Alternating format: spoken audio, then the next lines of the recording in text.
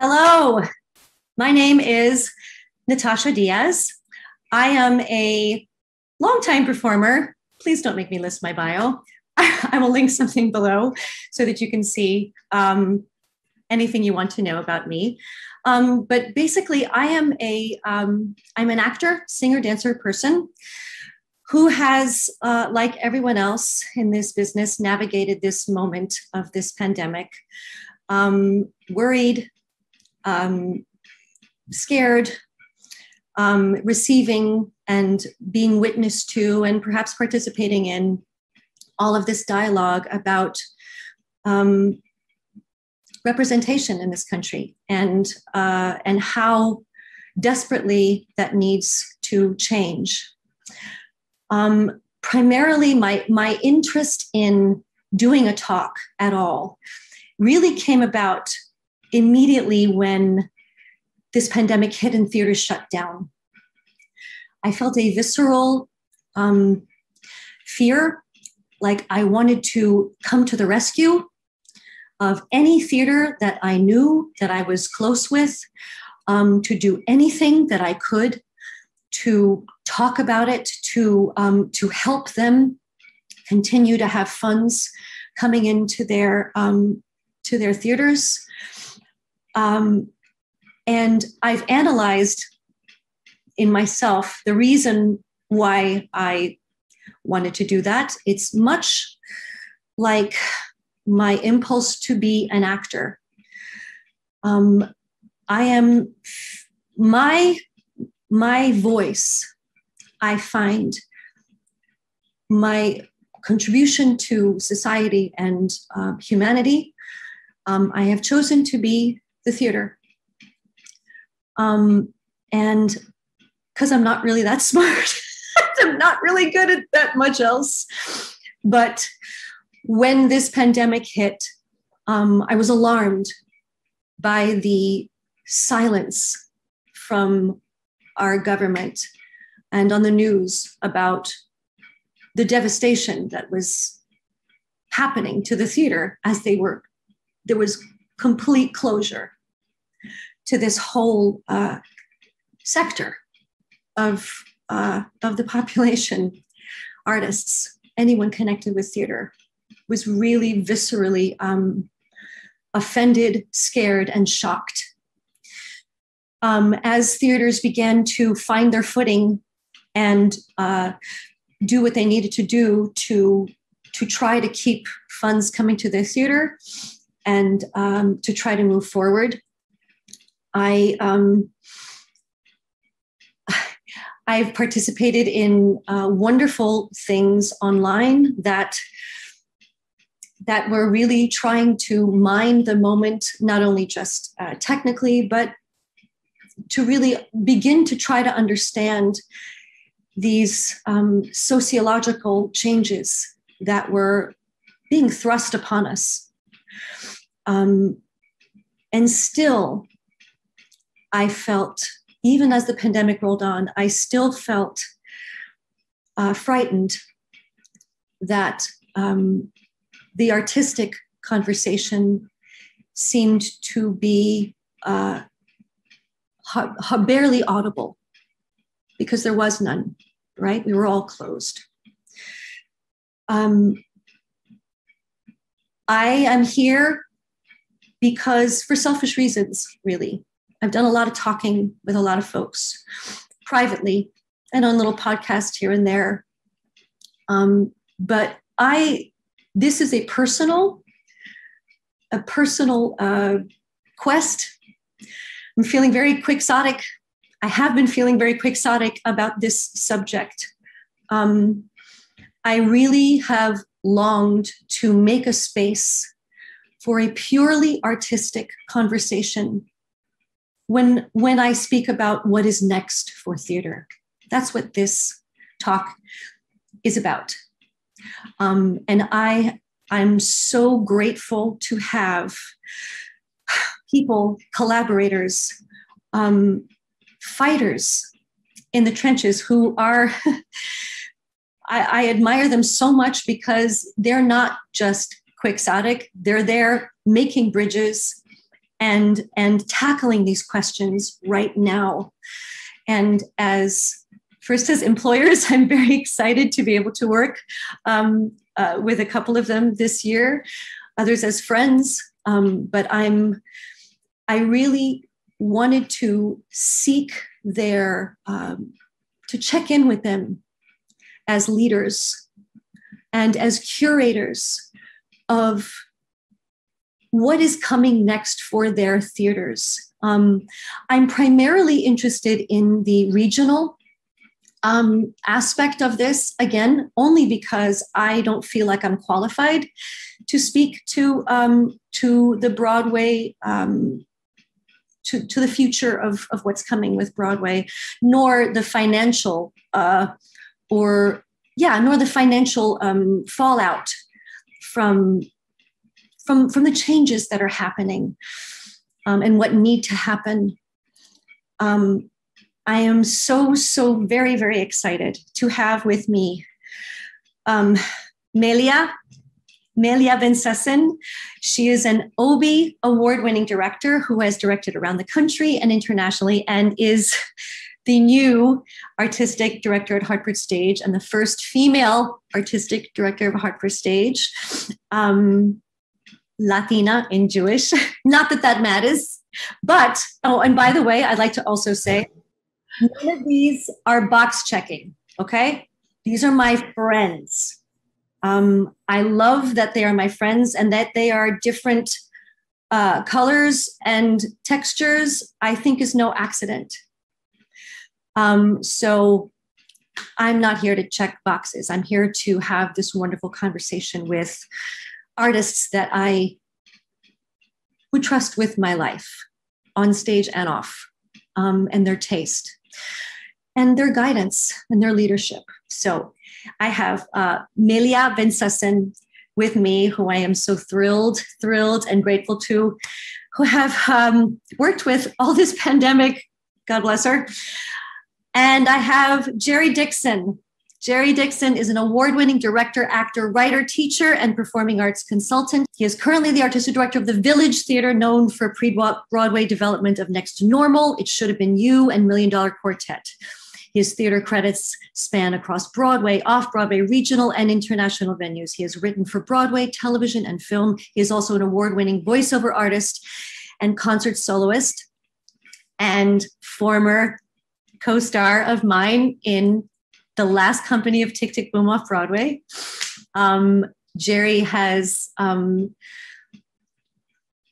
has traveled a span of time in this business that I find uh, singular and very uh, his his opinion and his lens as a, as an actor, having navigated these um, these waters and everything that that implies for the last you know 15 20 years to being in a position of leadership.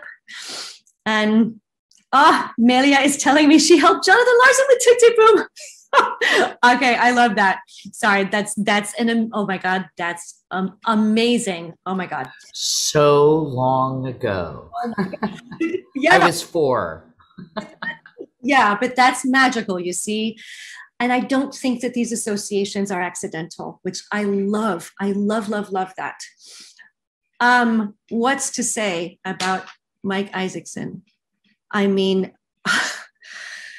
I I tried to edit his bio and I was unsuccessful. So I will just say Mike Isaacson is a producer of over 25 and off Broadway, off Broadway and, uh, and Broadway musicals and plays, national tours, London productions.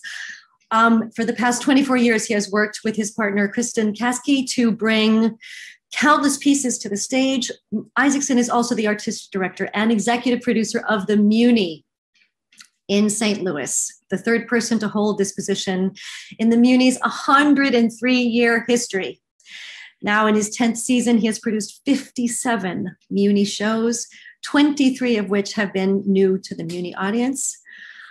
Um, and uh, Mike and I uh, met, I think, from afar. He tells me this story when uh, he was there when I did Anita in West Side Story.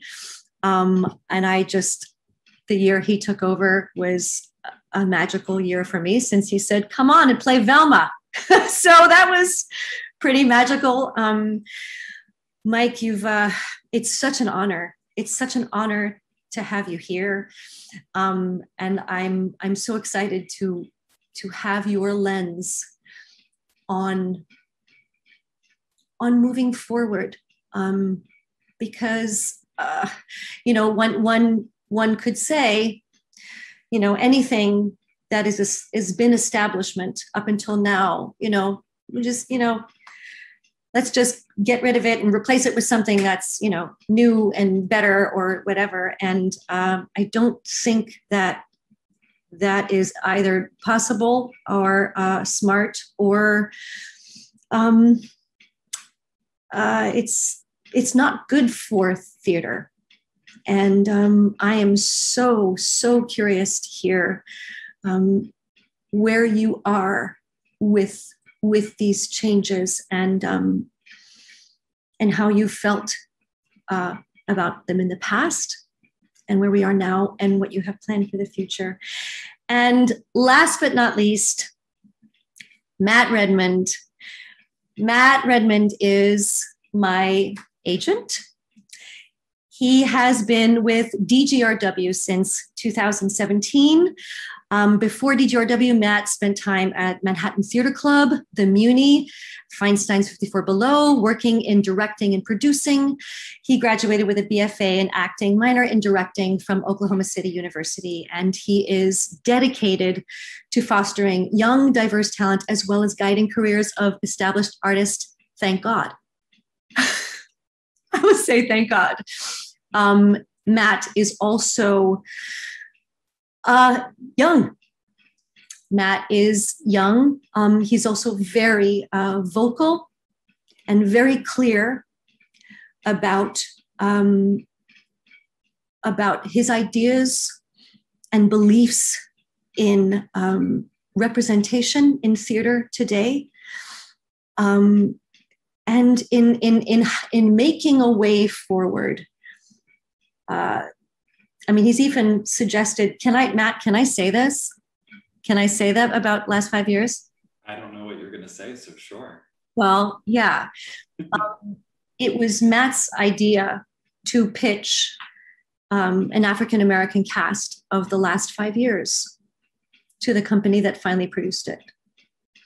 Um, and I think that is, you know, yes, there's been incredible ideas that are popping out here and there, but um, I, just to give you an idea of, of the kind of uh, expansion that, um, that these people, these, these people who have uh, agreed to, to chat with me today, thank you all for being here. Um, and um, I'm, uh, for this quixotic need um, again, I, I, I felt like I needed to protect um, the purpose of theater. And the way it is, uh, the way it comes together, the impulse that creates a piece, and um, because I I worry um, and I'm going to play devil's advocate here. Okay, let me just put that out right now. I'm going to play devil's advocate a lot. Um, I have felt like there has been lots of um, prescriptive um, box checking and uh, you know commanding. There's been there's been a lot of cleaning out, certainly of of abuses of power in theater and in really everywhere in our society yeah. Um, but i i have been afraid of the at least what i perceive to be prescriptive changes that i'm hearing that theaters ought to do or that pieces ought to have. Now listen i am the last person on earth as a POC, which I still I still chafe at that label because I think all labels are just that. They're labels. They are surface. They are not um, their surface. So I am the last person who would who would say, yeah, you know, give me a better avenue to a job. However, I say where I've had a lot of experiences in this pandemic for, with people and companies and pieces that are, I see them trying to open up casting, open up uh, types of pieces that they're doing. Um, and I'm of two minds. I got to be honest, I'm of, I'm of two minds. Part of me is a purist. And I, you know, I don't need to see something updated because a piece has its own set of what was important back then. You know, there say that there was, you know, it could be any any play, any musical. And and it's my job in my mind as a performer to adhere to those set of um, the parameters of that time, to inhabit the parameters of that time, and to present it fully. Um, I'm I I sort of chafe against having things that are always catering to to us now, but in a way they have to, and I understand that. Um, Mike, what do you what do you feel about like the balance between having new material and presenting new things um, and uh, I'm gonna I'm gonna ask you to keep this specifically for the Muny right now because part of what is so interesting to me is that all of you have your audience that you are curating, and you know your subscribers. You're trying to get more uh, subscribers, um, and your audience matters.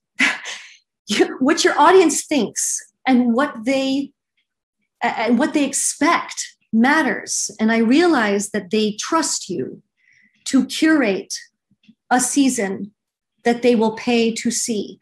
Um, and Mike, I'm almost done with my lengthy question, but it's what do you say? What do you say to those people who are,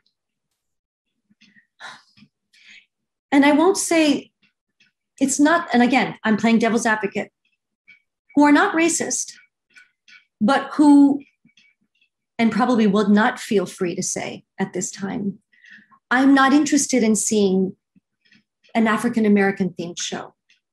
I'm not I'm not racist. I'm just not interested. What do you say? How do we as storytellers and as teachers of this moment how, how do we reach how do we reach these people without totally smacking them across the head with things that are uh, that are too much that they won't buy a ticket to because you can't force people to buy a ticket. That's the thing about art. So what do you do? Mike, what do you do? Sorry. No, it's it's a great question. It's in many ways the question. So, I mean, all I can answer is based on my experience and what I've done and i think everybody here will have a different answer because we're all we have theaters with different missions with different audiences. So i came aboard inherited this you know 97 year old institution whatever it was at the time that had some really remarkable things about it in terms of you know the, the Muny was a civic idea before it was an artistic idea right? It was founded by a mayor and he said, I believe we can be better citizens of St. Louis if we all gather in this park and see these works. And so that has always been the soil. And then eventually it developed into sort of an artistic home. But, but the two um, always exist together. So we have, because of that and because of our origins, we have some fundamentals that are thrilling the um, the access. We have a 1,500 free seats a night. We have programs where people throughout our community who would have no access to theater not only are brought to the theater, but we provide the transportation. And we're talking people from extreme um, with big disabilities to women from shelters. So, So that sense of community and a bigger idea um, is is essential, necessary, and there. The other thing is socially and culturally, it also has the gift of ritual. It's a part of people's lives. They've been coming for generations, their parents, their grandparents, which is such a gift to be handed. It it's you know it's daunting but it's incredible. I wish it for all my colleagues. And that's part of it's just being around for 100 years to be honest. The longer you run the longer you run. But it is also within the culture of st louis and i say this quite proudly to all my sister institutions really the only public space where people walk into it knowing they're going to be seated next to people very different from themselves because of that tradition and that thing right? So so you already have this you ask the question how do you get them interested? There uh, it's already part of baked into the expectation. But to address the question directly what i have tried to do is all those conversations are how you talk to people and how you share their vision. And from day one I and it's you know it's a it's a talking point. I say constantly remind people. I say, okay, seven huge musicals, one after another, right? If I took you in a car and we went to uh, what's left of a movie mall, and I said, great, you're going to go see seven music or seven movies right now. I don't expect you to love all seven. I don't expect you to do that like you understand. But the adventure is the experience, right? So, my point of view is if you give us the gift of seven summer nights, I'm going to give you incredible variety. So, and, Mike, Mike, you said something. Oh, did Mike disappear? No, I'm here, aren't I? Okay, yeah, you're there. Um, but Mike, you you just said something very interesting. Um, About it, time. well, did you said you're not gonna you're not gonna like every single one. Um, I, I thank but you. Let me finish the second part of that sentence. What I have to make sure is that it's done exceptionally, that it's exciting and it's vibrant and it's magical and it's at the highest caliber talent level. So you may walk out and go, not my thing, but boy, they really did it. And you know what? That's the best I can do. I cannot control you know what is people's minds and hearts when they sit in the seats i can give them what we can give and that i say because we've all joined in on that including the board and and all of that everything we've done to the theater over these 10 years in the vision stem has been has worked it has re-engaged the community but something you said earlier is i i think when you're looking at a show and this is the reality we're all in. I'm going to stop and then turn it over to colleagues. You do have to look at every show as a case by case basis. And you have to look at honestly and where you are and what the audience is. And also, so I'll say, for example, this, this, this is where we live in. So this summer, I'm doing Seven Brides for Seven Brothers, right? And people love this thing and they love this thing. And oh my God. And for years, people were like, when are you going to do Seven Brides? Seven Brides? Yeah, yeah, yeah, whatever. Okay. Finally, slot opens, great, we're gonna do Seven Brides. Thrilling. Announced the show, and being a very smart artistic director, I then read the script.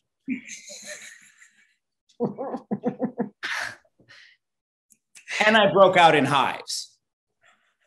And then all, you know, I, I'm literally calling all the women I work with who love this thing and going, Can you tell me why you love this thing? And they're mentioning the cowboys and the boots and the dancing and the dancing. And I was like, You know, there's this kidnapping, right? And they're like, Oh, yeah. Oh, yeah. That's kind of, eh, oh, good luck with that. Like, you got to be kidding me, right?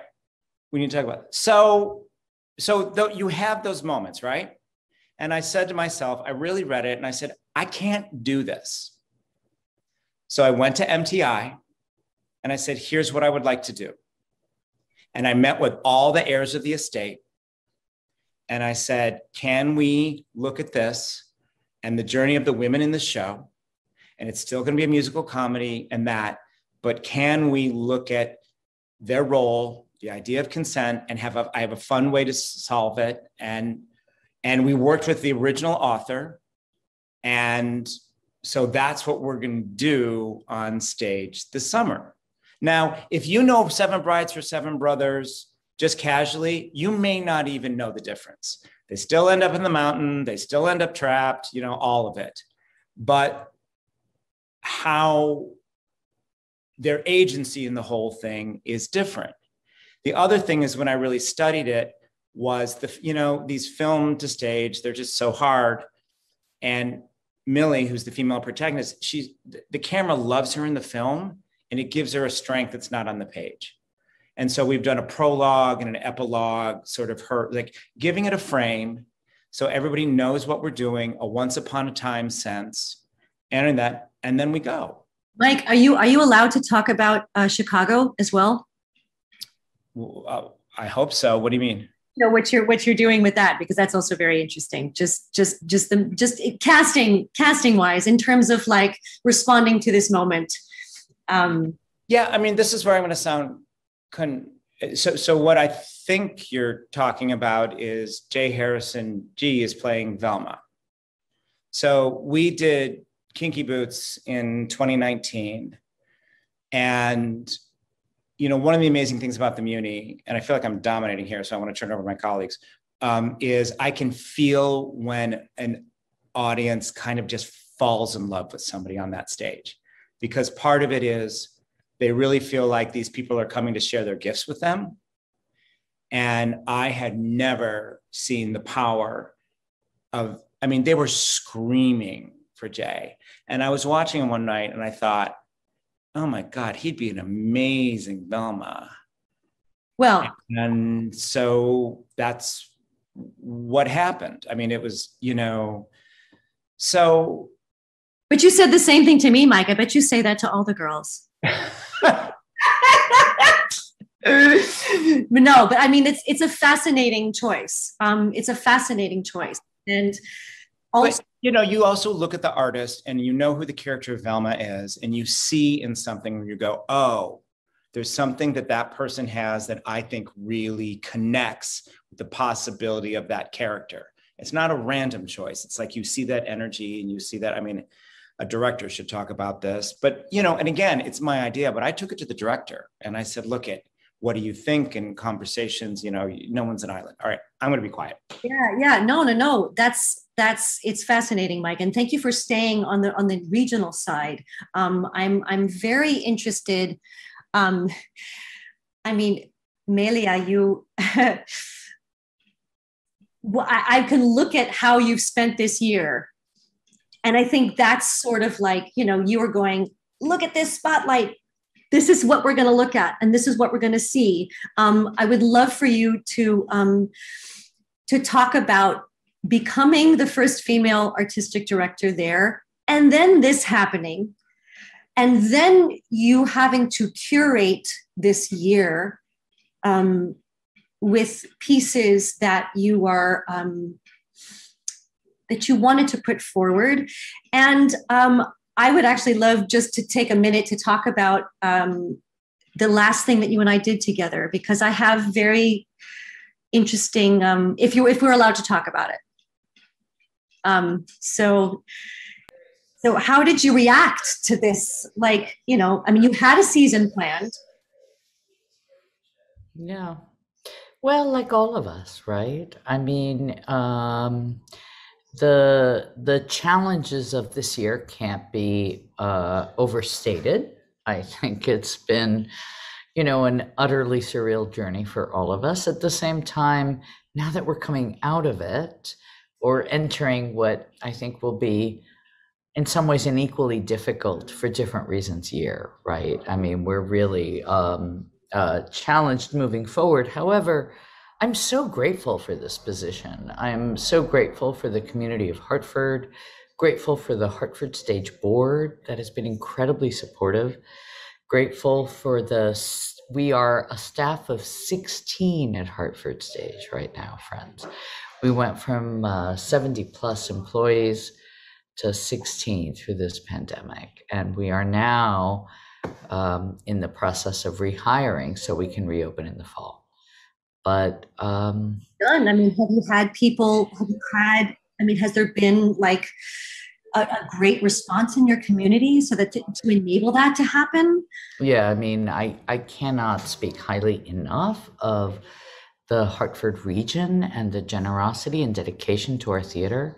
So in a sense, you know, when you when we speak about why theater and the art of theater, I am I am so moved by the fact that this almost 60 year old regional theater has been kept alive by the love of its donors board, patrons, and community. Uh, we're certainly working. I mean, as as you mentioned, right? I grew up in Mexico City. I'm my father's Mexican. Um, and part of what I love about Hartford is that it's 47% Latinx as a community. That is not necessarily reflective of our audience yet, but uh, really enjoying the challenge and pleasure of engaging with communities that maybe haven't been brought into Hartford Stage previously and really animating that community. I have great partners on my block. We're situated uh, catty corner from Capital Community College, which is a, a, a great institution, a two year community college that serves a BIPOC community in Hartford. And uh, Christ Church Cathedral is a good Jewish girl. I'm ready to become an Episcopalian because of this amazing uh, Reverend Dean, who is the the priest for uh, uh, for Christ Church Cathedral. We've done babysitting initiatives together uh, before the pandemic so that you could come to a show, park your kids. I don't know. I have two children, just in full disclosure, but it's great to park them so you can see a play. And I, I think, you know, babysitting and daycare can be one of the great obstacles to uh, younger families coming to the theater. So that was one of my early initiatives in Hartford. Anyway, all to say, the community has been so supportive and I love what Mike said about the Muny. I think, you know, this way of turning classics, wrestling with plays that are known, works that are known. Natascia, you're going to be part, I hope your agent's on the call, so I'll just make sure all is okay. Of uh, my inaugural production at Hartford Stage, which will be a really new version of uh, Wilderness, Eugene O'Neill's only comedy, with a multicultural cast that brings their own backgrounds to this piece and and this mix of anachronism for that piece and live music. So i don't know matt tell me. I you know it seems to me Natascia has a gorgeous voice and we should have her sing but we can discuss that separately. We, there could be a singing fee for it. No singing fee. Part of performance contract. But um a way of wrestling classic plays. So apropos your question, and apropos Seven Brides for Seven Brothers, it's how do you take something that is in the canon, whatever, however we define that, and say we all own it. We all own it. It speaks to all of us. And we can wrestle these plays in production and make them speak to a larger audience than its artists initially could imagine but Melia, you you bring up a point which is which is something um, I'm going to sort of wrestle this uh, conversation a little bit away from from where it's going, only because I'm really this is part of what I'm very curious about. Um, and and yes, it's not I don't think there it is the solution to throw out everything that was written before in 19, you know, 80 and like consider it old and the way it's done. It's not going to happen. Um, but at the same time, I do feel like, and this is a casting thing, you know, and Jerry, I think this is your, you know, as as your your as your actor self, I would love to hear what you have to say about this. And and Matt, I'd love to hear what you have to say about this. I'm as a purist, I would tend to, I, just want to make sure that the stuff that's happening nowadays with all of the um, uh, people criticizing openly the choices that people are making, either with pieces or with casting, I just worry that the cure might be worse than the disease. and I don't want the cure to be worse than the disease. I, I, again, I'm the last person on earth to to say no don't give me a box so that i can actually have a job however i do believe i do believe in this sort of the sanctity of artistic choice of someone's piece So, so can I speak to that for a moment?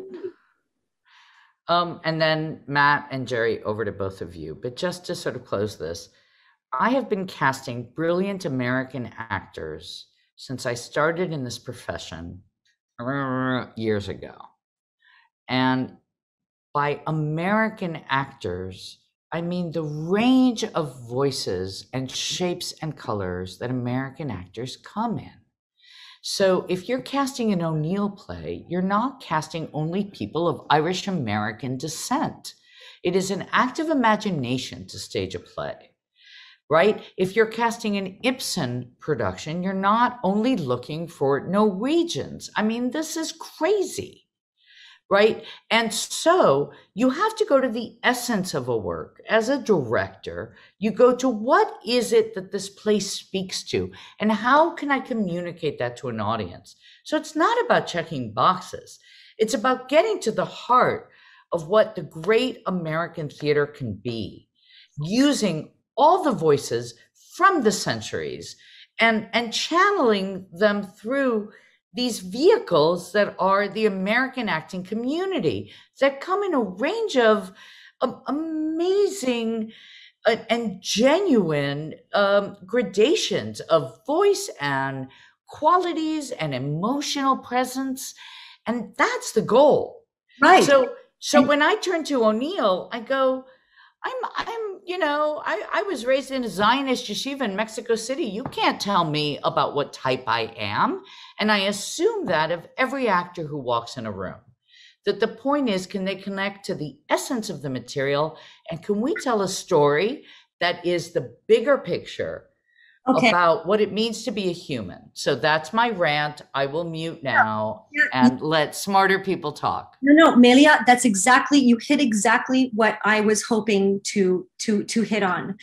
I mean, as a performer, I would much rather, and the times that I have found out that I was a box that was checked, I I got sad.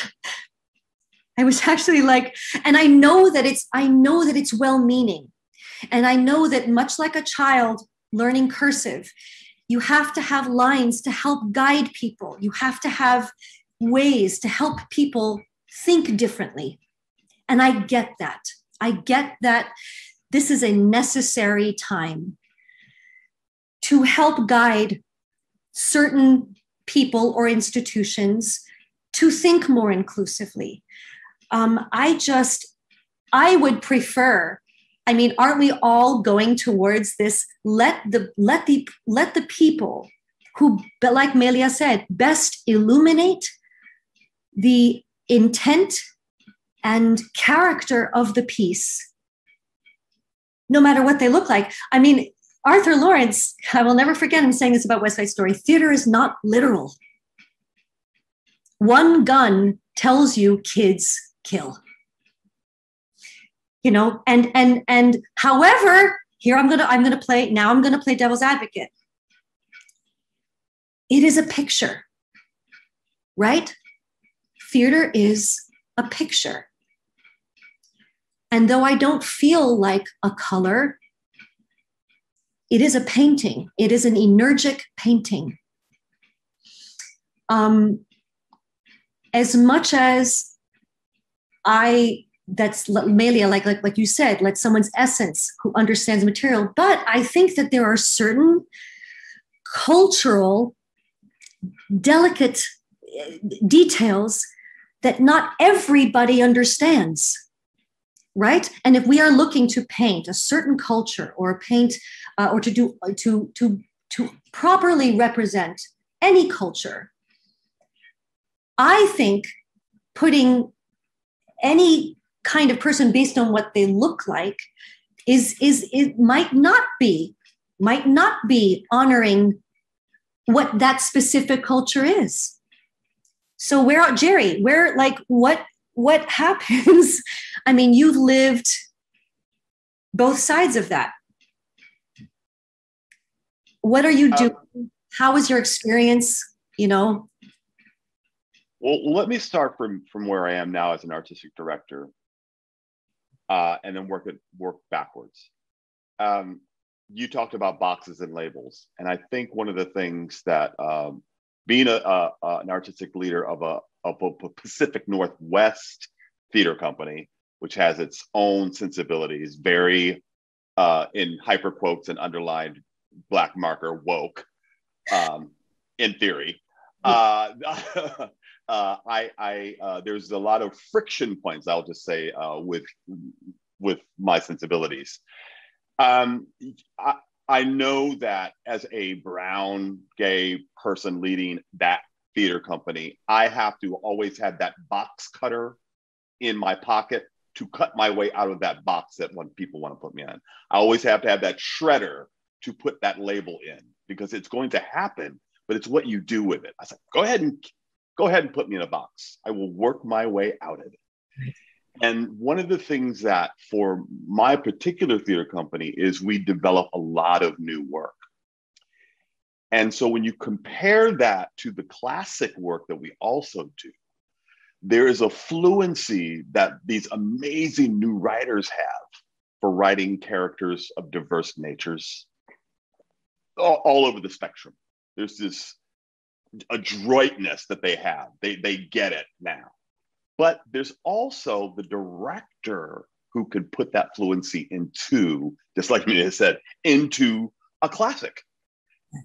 They do not ignore the otherness of the of the actor. They embrace that and allow that to come through. Because I, as a brown actor, I have been in the Eurocentric play or musical. I have been in that role and, and it just makes it better. It better. just makes it better, right. Jerry, when you bring yes. your own background, when the actors yes. bring their. Thank you. You Sorry don't erase to... it. You don't. Cl- no, it's good. This is this is why we're here. You don't cloak it. You say, for instance, if if I'm playing, um, uh, I I can think about a line like, um, "Man, the only trouble I have in the world is my girl doesn't love me." Was a brown man in America saying that, it's kind of hollow. So I have to figure out a way to make that true for me.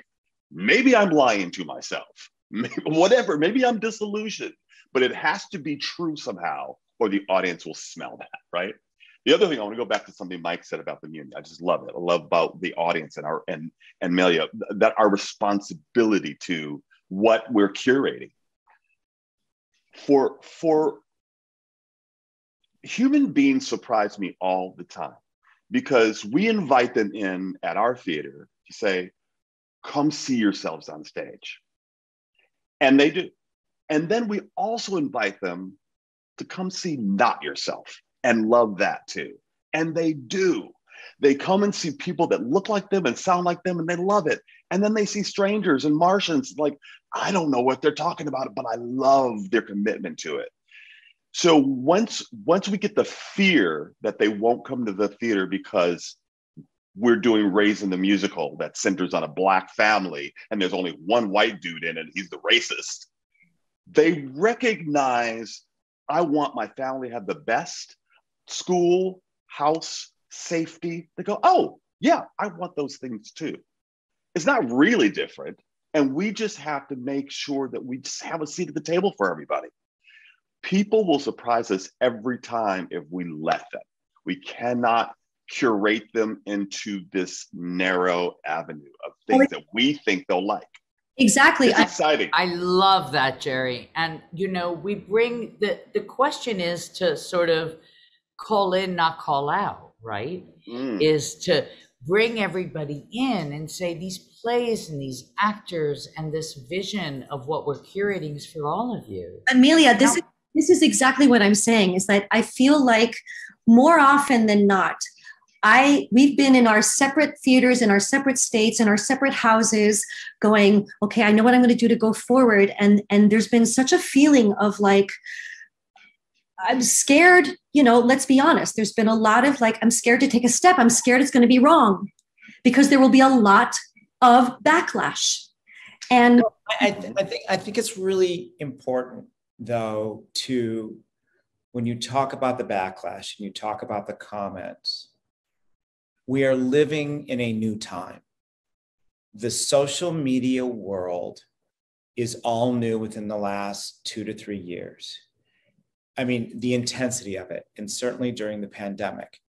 And everyone is learning. It's going to take a few more years to really understand its value and then times when it's not of value and what a voice is and how a conversation matters. It's the wild west right now. No, and you know, I, I, I have these in in having in wanting to have this talk with people that I trust, artistic collaborators and and and theatrical curators that I trust. I hear things creep into my consciousness. I heard Bill Maher say, "We we cater to the most offended among us." And I think, I think, you know, and then I think of how Lin-Manuel has been sort of receiving backlash because of uh, the Dominican, uh, his choices. Again, his choices. And this is where, guys, this is where I, I, I go. You need to hold holy someone's artistic choices and their vision. And and there's i think that there's all right. Now it's different. It's not like you can't talk to jerome robbins like and the things are different. Like jerome robbins wouldn't get very far today because that kind of you know power and and sort of superiority and and frankly i i don't know if i agree. I think there are plenty of jerome robbinses doing very very well right now, right, Jerry? Indeed. You're with Indeed. me on this. Indeed. and and we know who they are, and they're doing just great. okay Yeah. so And this I look beside me, I go, I could not get away with what you just did. well Amen. Me neither.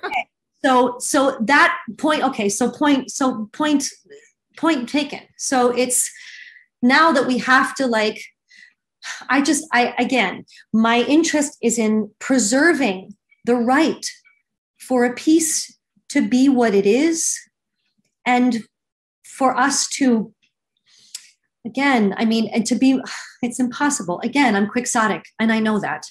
To be more gentle about the artistic conversation and the choices, saying, we see, we know as storytellers and as teachers, we know right now what we have ahead of us. It's huge, but it's but it's choice by choice that we're gonna have to go now. It's, yeah, Natascia, I think what you're talking about, I, I, I want to sort of uh, partnership with you on this message because I think what you're really getting at, the essence of it is we are stewards of people's work, other people's work. yes. We did not write most of the things that we collaborate on. no, no, so we are we are caretakers of that work. And sometimes there's a pure idea that you don't want to fuck with. yes. You want to make sure that's the, the writer who took five to 10 years to get something right. ready that you don't mess with that and break it because my job and Melia's job and Michael's job is to leave things better than we found them. We leave the play better than we found it. We pick it up, we we dig deep and we go, this will be better because we are mindful. Yes, there will be some times when we go, yeah, this might need to be all white. And maybe that's the strongest version. Most of the time, I don't think But- that's true. I agree Most with you time because it's about the essence. I It's agree. about the I mean, And it's the essence. writer if it's a family, yeah. Go ahead. I'm sorry, Jerry. The- I'm just No, no, excited it's- by it's- everything you're It's saying. so great because the writer will see your care. That's even right. if you, even if it doesn't look anything like what they imagine, they go, wow, somebody was really careful with my baby. They took care of it. And I think there's no better thing than an art than, than an artist seeing someone take care of their work. They understand that you didn't do it willy-nilly. They understand the care that went into an all-female Othello. But if you think if those writers were alive today, they would be supporting this. The great theatrical thinkers would go like, yeah, duh, That's who's really smart and good for the role.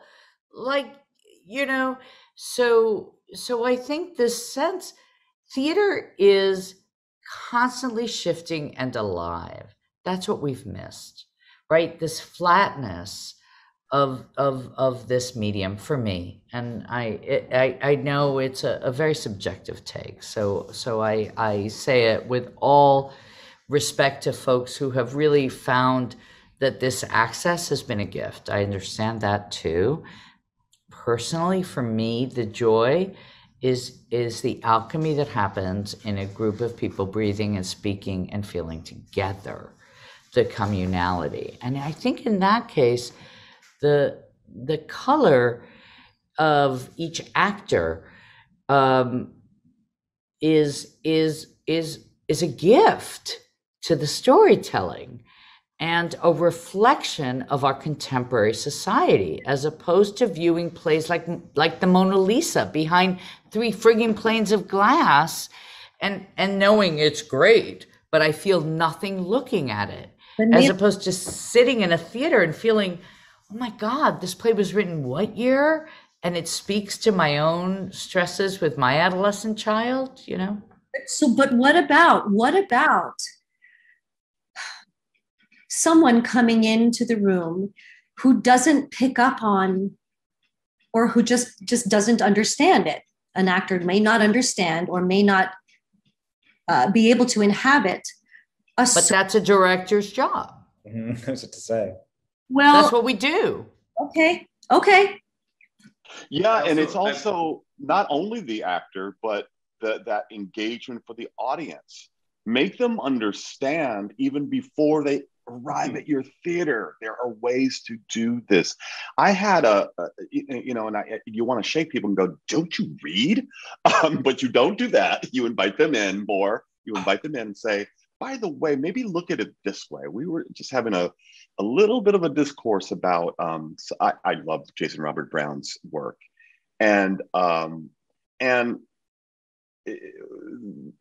almost got to the argument point about um, the second song um, on the bow on the deck of a sailing ship, nine, uh, 1492, and people were adamant that it was about colonialism, adamant that we should take it out or have him rewrite it, and I said, I'm going, I'm going to have to drop a name because that's my buddy, and you're flat wrong there was something else going on in the world besides the discovery of America in 1492, and that was the exile of Jews out of Spain.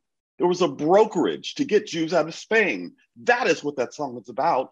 People, you have to read, you have to dig deeper. You can't get all of your information on Twitter.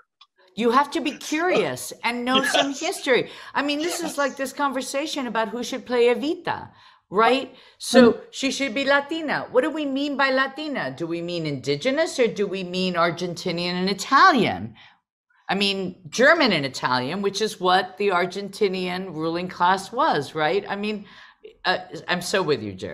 Yeah, just, and, and, but if they don't, my point was that if they don't read, then it's our responsibility to shove that dramaturgy down their throats to make sure and they understand figure out something. how to reach them right i mean yes. that's where yeah. how do we reach our audiences to say here's what this playwright intended here's my vision for this playwright here is why these people are telling the story matt you've unmuted i will mute so you can actually no i just i wanted to go back to what you said about call in versus call out because I think it leads to exactly what you just said. You know, it's about calling people in. And to to Bill Maher's point, we can't, while maybe we can't cater to the most offended, we also can't cater to the least offended.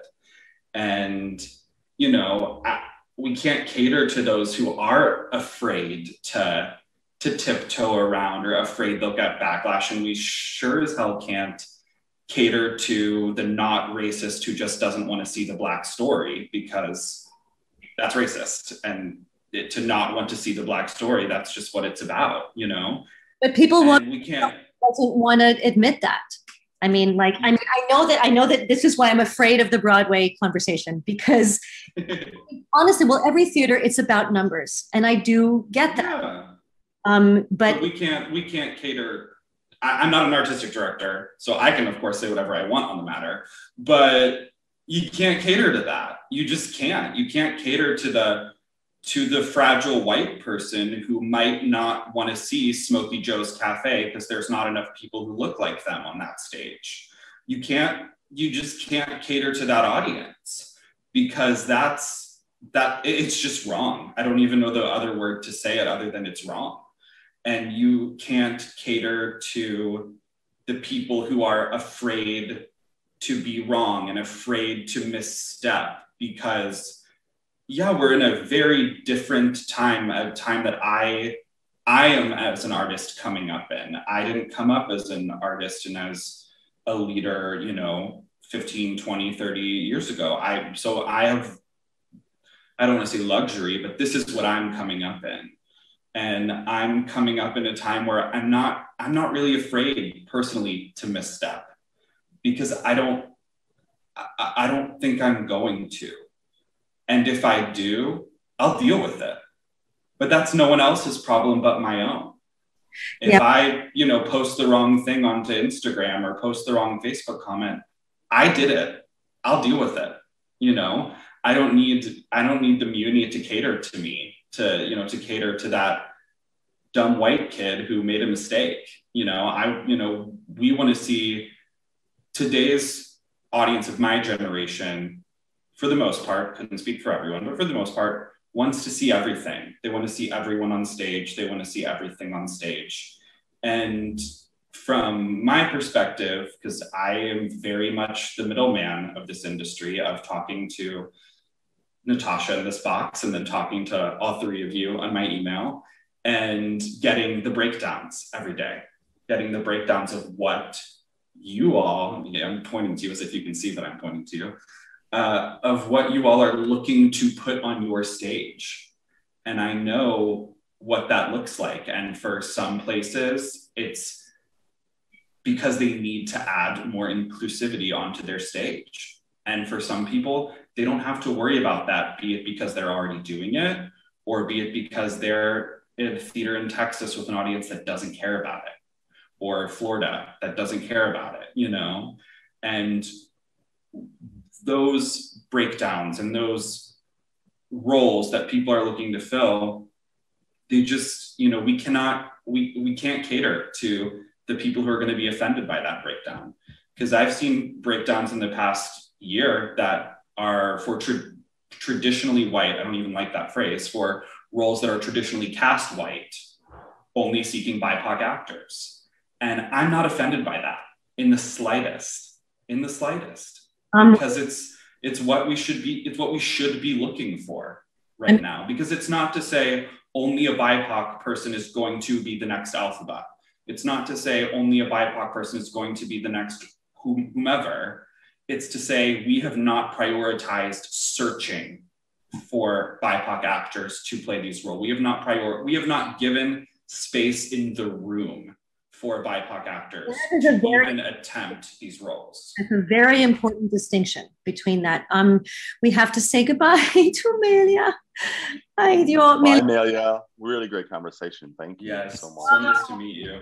But one of the things that Michael and uh, both Mike and uh, Melia said is is the love that our communities have for our regional theaters is unsurpassed. And I would be remiss if I didn't say how much I was astounded of the outpouring of not only, of course, the dollars because they help, um, but just the support and the calls of support, making sure our theater was going to survive, and then the money because that's what it takes. And we have a we're a four uh, four venue, um, two uh, city theater company, and the generosity has been just um, just outstanding. So I just want to uh, make sure I say that. I, I think what what was astounding about that, and we experienced the same thing, and now heading into opening a show in five weeks, four weeks.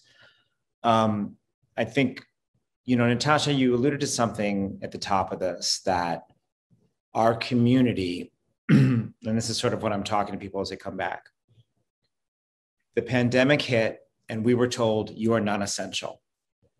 Stop. And then not only was that what we were told where we fit, where we and we understood that. We got it. At the same time, we are people, you know, it is a cliche, but we are different beasts. And our energy and our connection, it's not what we do, it is who we are. And all the ideas we're talking about the room and how we create and how we connect. And I'm with what she said about the Zoom thing. It for me, it went from like A to F. And I'm very proud of the series we put together and how it worked in that moment. And I don't ever want to do it again because it isn't this. And and not being who we are has been the real pain. And so we're coming out of this to sort of refigure out what that is and what that means now. The the astonishing thing is tipping off of what jerry said the support from the community was unbelievable. And even now uh, our subscription renewal has never been higher. Like they were cheering for us to come back. I mean, I couldn't go anywhere. We're going to have a season, right? We're going to be able to do this. And, you know, it's, I don't really understand it fully yet. I mean, I think the other thing when you listen to Jerry and stuff, these institutions, these things we do, there's always an element of mystery here. Like to think that the, you really kind of know the answer.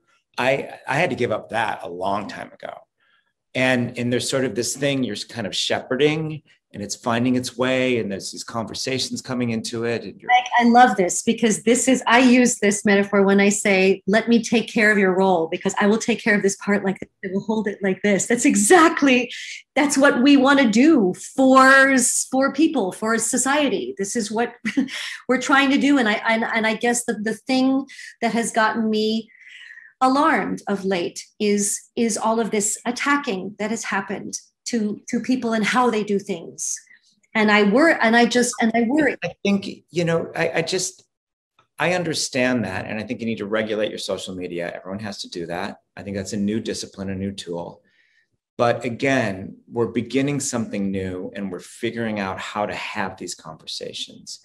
And exactly. a lot of them most of them have very worthy intents underneath their soil where it's coming from but how they come out and what they are may not result in the impact or idea that that original intention. And you kind of have to give the grace of taking a step back and going okay that was kind of hard and you know in some senses just you know there there's been some ugly stuff.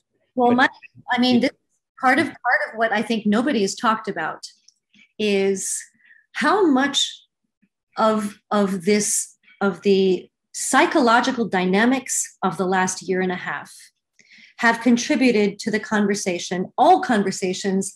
And like i mean i could ask you if we were not in a pandemic would the george floyd thing have even happened? But I, i'm going back on my own i'm going back on my own my own desire not to have a political conversation. But I do believe, I mean, what do you guys think about, and this only insofar as it affects the conversations, like you said, that we are trying to have now about representation and moving forward. How much of the pressure of being in lockdown, being estranged from your community, your work, not having money, not uh, you know how much of the, psych- the psychological effects of that individually and as a society i feel like we, we sort of haven't even acknowledged that that that has been a huge part of the characterization of how we speak to each other right now. It's like you say you see, you point to a child you're like he's getting a little irritated he needs a nap. You can see that he needs a nap he's tired. Well there's a lot i just think that there's a lot of psychological pressure that is coloring all of our conversations right now. And I, I, I don't see a lot of people either aware of it or um, acknowledging it and then maybe taking a step back everyone i mean for for a while there there were so many people who i would characterize as acting out yeah you know natascia um, one of the things that I, I definitely grasp is that um, there's a difference between a time of reflection and a, a time of malaise. And these things were sort of running sort of parallel. People, people were in body and spirit and mind were sick. And then there also that people were in body, mind, and spirit were also hopeful. And hopefully these things, hopefully they could mix and you could sit at the table with each of those things and you can sort of work something out so that we can all move forward. Because what I was coming up against was a lot of people who wanted to tear it down, Exactly. burn it all to the ground. That's right. But I also was meeting people who goes, no, let's rebuild this thing. Let's build it new. And I, because I'm an optimist, I believe now it's tilted more into building it up rather than tearing it down. I hope so. I hope so. I think we had a season of like destruction. But here's the thing about the theater's not going anywhere. We're the stories that we're going to be telling in 10 years are going to be informed by this really painful time. And we're going to talk about, we're going to have stories of perseverance, uh, uh, stories of transformation, stories of really getting to know each other.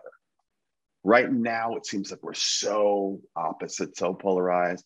But at the same time, you see people fighting, fighting to find commonality. And the storytellers, the writers are going to be the very fuel that we need to tell those stories. Because I, right now we're in this in the thick of it, and it's hard for us to see our way out of it. But there is a way out, and and artists, writers will, will help us with that. I mean, and and it's it's you know part of what I wanted to do in this talk, and if I'm able to, I will add it in a separate um, in a separate segment. Was what I, I wanted to orient, you know, other pivotal times in history when you know when these huge changes happen you know wars uh, any any huge uh, societal happening theater has to respond right? And I'm, and it has i'm sure throughout the world. So this is not the first time that this is happening. And i'm i'm curious i have someone i'd like to speak to and if i'm able to do it i, I will include my talk with him because he's a historian a theatrical historian and I, i'm i'm really interested in comparing it to this moment to what has come before you know? And and as healers teachers um inviters like you said jerry we, we are we are we go to the theater to to yes to see ourselves but to join with someone else to join with something that you would not have joined with to find empathy in the human experience. And i i mean I, as far as casting goes i mean selfishly i i have always hoped and i know jerry you have you you succeeded where you did you know when you were an actor in changing people's minds about what they thought would go like this to their role right? Because and and people like mike you see something that goes ah that's illuminating something that i that is important to be communicated. And matt similarly you had this wonderful idea to bring uh, the last five years to be uh, an african american couple to the to the screen. And that was I, I, loved it matt. Just i just loved it. I thought it was beautiful. I had a couple of people over. I, I bought the uh, the the premium package. Uh it was just really wonderful. Mike did you know that? i'm glad. Oh yeah. Oh yeah.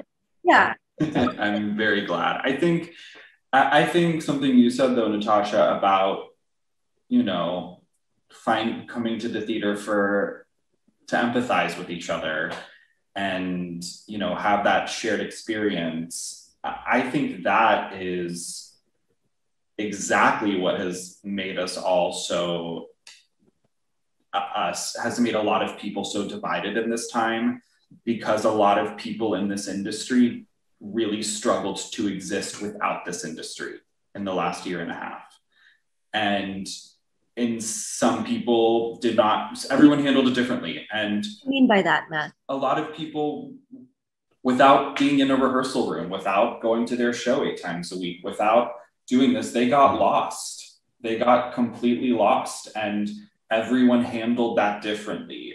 And that empathy and that kindness that we typically or hopefully have when we sit down in a theater or when we get to places or whatever a lot of that went out the door this last year because a lot of people needed that shared space in order to bring that bring that out in themselves. And kind of like you said you know i think there there's totally a million excuses and a million reasons for why we've all acted the way we've acted in the last year and a half, positively and negatively. Yes. We're all going through it, whether we're having a better day or a worse day, we're all going through it. I mean, And it com- has completely contributed to what we've done in the last year and a half. But I think that we've had, because people really have not been able to disconnect them or had to disconnect themselves from the business like this last year and a half people didn't know what to do I mean, I, and I, I, Lin-Manuel Miranda came to see the Capeman. I remember the night he came, and he was, huh, okay. So, and again, I'm going to go back and say, look, the Capeman was not glorifying a murderer. It was, uh, it was a fascination of a composer, Paul Simon, of a story of an immigrant boy who had an extraordinary experience. And he became a tabloid sensation because of how he was treated. Salvador Agron was treated. He was almost executed for the crime he committed at age 14, 15. And he became a figure that, uh, I mean, Roosevelt, Eleanor Roosevelt had to come to his aid and say, look at what this child has been through. Are you not even treating, I mean, this is a child. So to even humanize that, and it was it was a story about examining if if redemption is is possible, no matter what your circumstances. And the fact that it was 20 years ahead of its time um, was, I mean, we all knew that, but it got the treatment it got. And so Lin saying, you know what, God, I'm really, and whether whether it came from a good place or not, whether Paul Simon, you know, he's he's a Jew from New York, and he wrote this show. Lin went home and he started writing in the Heights because that's what literally that was what started him writing in the Heights, as far as I know. And because he was like, I wanted to write a musical with where where my people are represented differently. But I still don't think that you know that you throw away the Capeman because anybody who knows it, like you like like we've all been saying, the intent was poetic. I mean, you think Don Giovanni was a was I mean, like what? Like, come on, the uh, the you know Rigoletto. These are like these are not great people. These were what great theater was made of. You don't just have things that are, you know, that make everybody happy. You also go to the theater to learn and to be to see characters that are that are, you know, I, you know, so I don't know. And I understand, I know what you all are going to say, that it's this is a peg, sorry, this is a peg of the conversation. This is a peg of the journey that we must go through in order to get to the more refined conversation and per- perhaps be able to present the more uh, different kinds of stories at different times but you all have to make that decision and mike i'm can i ask you to flip now to broadway producer Mm-hmm. and how that thinking changes or does it or is it similar Um, no, it's it's different. I I feel I hope that during this crazy career, I've tried to bring one to the other. The lessons do inform. I think the difference is when you're an artistic director of a theater or something like the Muny, you're part of a long-term relationship where each show in New York is its own thing. And you also have to look at the, again, the soil beneath it. And you know what? New York as a city has always will and will continue to be the embodiment of America's sort of, that's the city I go there to change myself, to become something. And so its primal energy is always about becoming the new where are we? It, that is that is the fuel and it's on wall street and it's on broadway and it's on every element and that's where the pride comes from the strength. That is singular in this country. It's a different energy in la there's a similar thing in silicon valley to a degree. That, that they're out there literally creating the century. God help us but it's sort of you know there. The rest of literally the rest of the country is not it's a different it's a different energy it's a different way of being. I would i would love for you to speak to um i mean you just announced some very exciting news today on facebook. What did we announce? Sorry. What did my marketing department do? Well i mean something is is going to be on broadway very soon yeah? A new piece? Um what well, I'm sorry, David Byrne um, and Plaza Suite. Is that what you're talking about? Yes. Yeah. Yeah. No, thrilling, thrilling adventures, both of them, and just great, great. You know, I I I think the difference of working, I don't know, it's it it is a different thing, um, and but it, it each has its own strength and its own profound i'm not going to say weaknesses but things it is not. And and uh, the the the energy and the um, focus and the discipline of the broadway culture i'm really connected inspired to that. I get off the plane in new york and i feel my molecules changing changing. And that's something. But that is also uh, not sustainable it's a thing, right? And you do it, and then you need to find a balance. And the joy, I've been, I, look, at I'd rather be lucky than good any day. And to sort of have the whole, the sense of building a community backstage and on stage and in the audience and having an institution where I can say to people like Jerry Dixon, I want you to come play.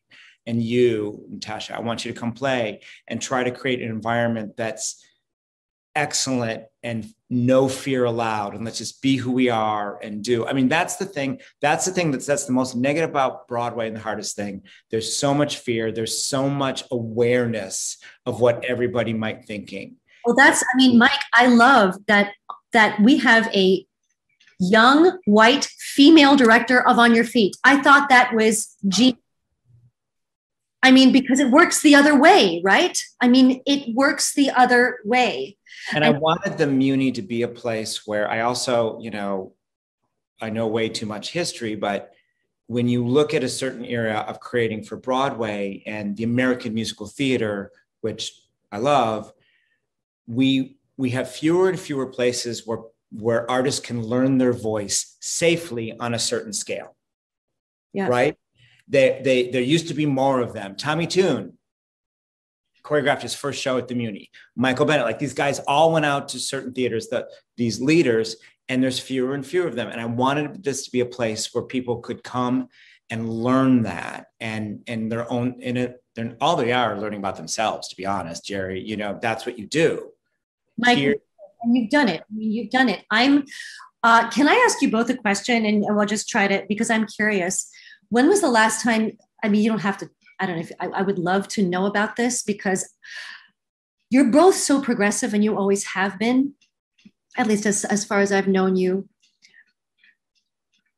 I want to know what it was like to have been in rooms with having conversations where the majority of the people around you were not forward thinking and they were uh, making safe decisions or uh, whatever they thought was more, I guess, what people wanted to see so that more people will buy tickets.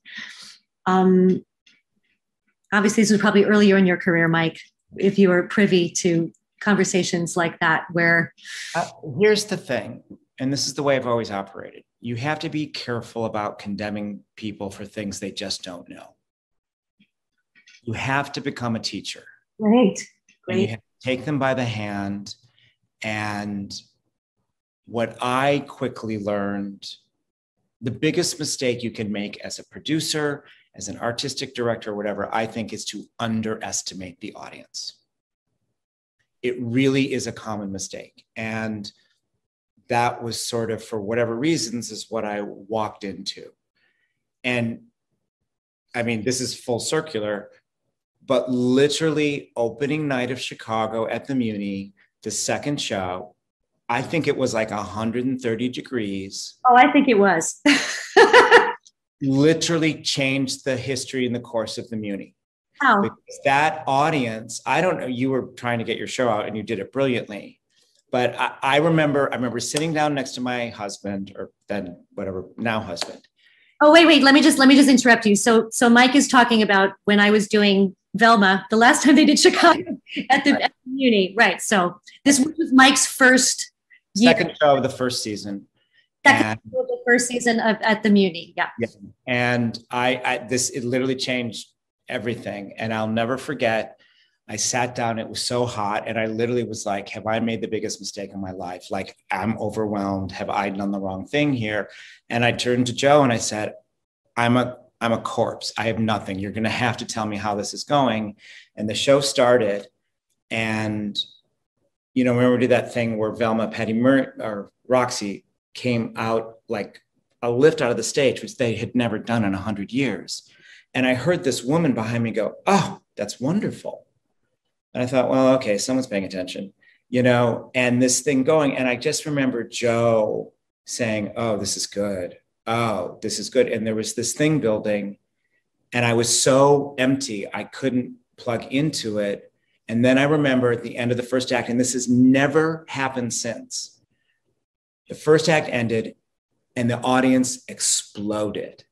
And I mean exploded. And we had those like those house lights that thing, right? I remember. And the house lights came up, which was usually like everyone stop, go get your, you know, intermission drink or whatever. And they kept applauding. I remember. And I thought, oh, okay, the dance has begun. Let's go. Like it literally, I was like, they were literally saying, thank you. We're here. We've been waiting. And it's just been a, a, it's been like a dance, you know? And I think I really want to tip it to Jerry. The thing you also have to do is you have to allow yourself mistakes. To think you're going to be perfect at this, it's just not going to happen. And you learn the leadership thing, and you learn that people will bring things to you not because of who you are or anything you've done, but what they think you embody and you have to learn how to manage that and allow them that and what those communications are and and understand you're on a long-term journey and you're and and that's what it is um, I want to I want to let Jerry take that, and then Matt can say one thing, and then I want to, and then like, we got to wrap up because it's already so. I don't want to stop. I really don't want to stop. Yeah.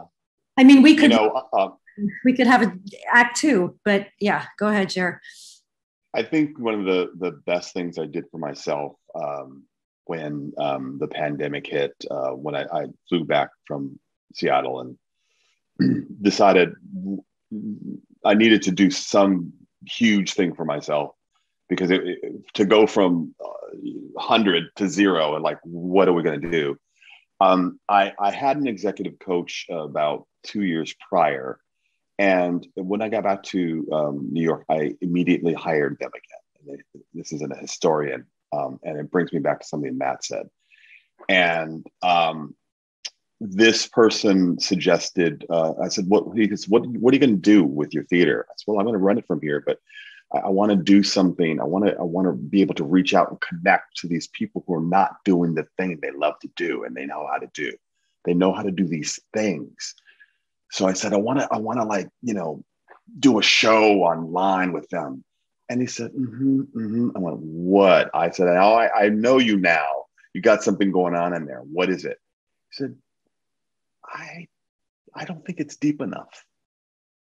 He goes, find their hyphens. Because that's what your show should be about.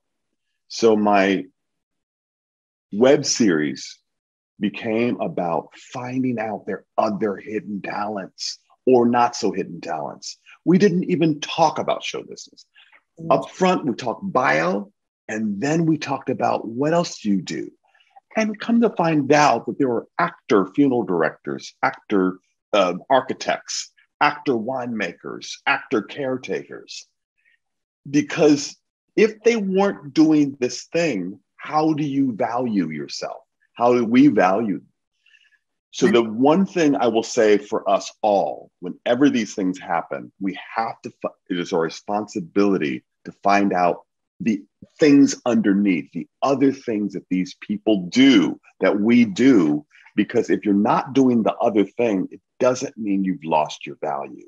Jerry, and that was one of the things I was seeing in the world. Exactly, Jerry. I was actually, when I was teaching uh, during this pandemic, part of the thing that was so exciting was I, I tried to impart to these kids that it's such a gift to be able to look at what you haven't been able to look at and really go into it. I had a group that were doing Chicago that were just about to do a just about to do uh, their Sitzprobe or whatever, and they never got to it. But they also never did table work. By the end of my courses with them, they were giving performances, sitting there in character, having understood, gone through the show together. My, I mean, I was floored by it and and i i hope that the kids who have gone through this to, to whatever degree that the people around them the educators around them and their parents have been successful i hope they're able to access the gifts that this that navigating this time will give them for the long run. Um, and i was so touched by this for theaters to be able to look at old productions to be able to to really see what went through it because we're so used to be like bam you want this you want this you want this but there's so much detail that goes into it. I was very touched during this time to be able to share more of the of the labor of love that we all uh, go through um, I know nobody wants to deal with that ever again, but um, I was I was very touched by it to be able to be able to look at process when it's all about product you can't help but learn from that. I mean, I feel like you can't help but like connect with your audience more to say, look, we made these choices and we had this discussion. And I mean, I imagine that people are very uh, interested in those things, at least the people that I that I spoke to. Um, I feel like we have so much to be excited about. We have so much to be excited about. Um, I as an actor, the thing that I immediately touches me is the race issue and the and the and the representation issue. To have been able to stand on a stage um, in Grand Hotel here in Signature Theater and playing opposite an African American Baron, knowing that whoever was seeing this picture was this was going to be their Baron it was thrilling. It was thrilling. It was thrilling to me. Not only because of the picture, but because, god damn, this guy was so brilliant. I mean, stylistically, he had the swagger, he understood the, the lilt of the time, and then he opened up his mouth and the voice that came out. I it was, I mean, I was, you know, that can you tell I'm still in love with my co-star? his name was Nkrumah Gatling. Um, but the thrill that it was to know that I was a part of that picture was so thrilling. Um, and I talked about this with um, with Ellis uh, and many other people. I, just as an example, you know, the, the, the Cinderella, the Cinderella with Brandy. You know what I'm talking about? I was brought to tears, and I could cry now just thinking about it when when the fairy tale opened up and you saw all of those different colors people and you heard the arrangements the musical arrangements updated, but not um, but not desecrated. And then you saw them inhabiting the, the grace and the style because because of the of my need to have this artistic discussion i am uh, i am a stickler about style and form. And i don't think that uh, anything should be sacrificed for that because style and form is what delivers story. Right whatever the style is and whatever the, the, the, choices of the form.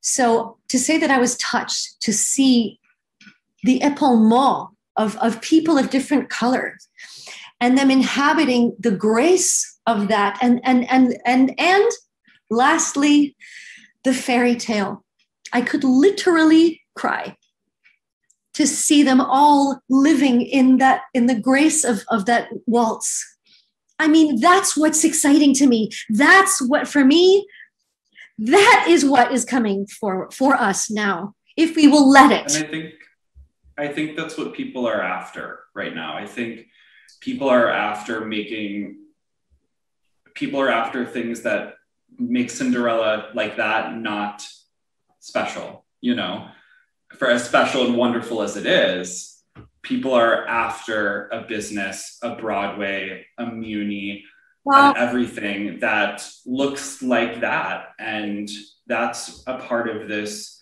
big shift and this big change is to um, eventually, not now, but eventually uh, normalize that and make that the norm. Now, now it's crazy. yeah. Now it's still crazy. But I, yeah, well, we just hope to to be um, curators of a more uh, patient, like Mike said, uh, well, and and everyone, a gentler conversation, right, Jerry? Like, yeah, like it's we're longing for we're longing for a time when that amount of representation doesn't feel special, right? Until it and until it does, until we can get there, it has to feel special uh, has to feel special. And and I think you can also um, you can have a radical voice and still be kind. Well, I feel yeah. more of that, and I, I, hope that people who listen to this um, know that there are people out there in America and probably in other parts of the world who are also having these conversations. Um, and I, I'm, I'm so honored to have touched in with you guys and, and to hear you, your, um, to hear your wisdom, your lens on it, and, and what you're doing. Um, I'm, I'm going to put a link below um, for anybody who wants to donate to any one of these theaters.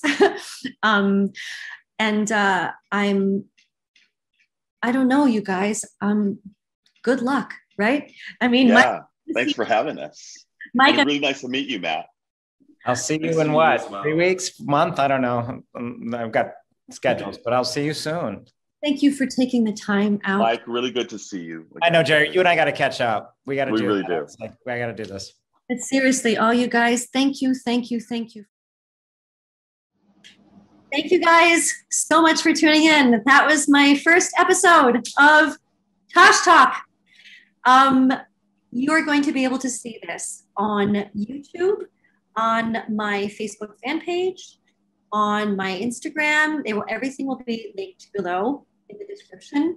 Um, and I would also like to introduce uh, the man behind the Zoom, which is Ellis Gage, my incredibly talented uh, actor friend, also IT genius, um, uh, for to, for curating and, and uh, doing this um, doing this chat. Um, stay tuned.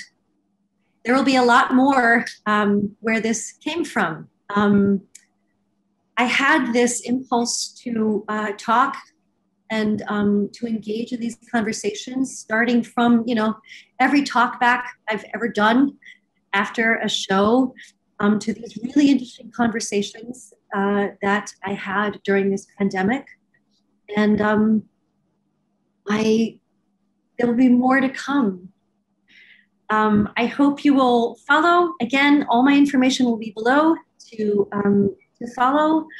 If you uh, please comment, please have conversations about this stuff. Um, I very much wanted to make a space for a purely artistic conversation. Um, and again, these are my friends, and I value and look up to them as artistic collaborators. And I knew, I hope that you enjoyed hearing um, from from these incredible artistic leaders um, who I am grateful and unworthy to call friends um, and employers. but anyway, um, thanks so much for watching. There will be more TashTalk. Trust. Um, and I will see you in the next one. Um, again, all information below. See you next time on TashTalk.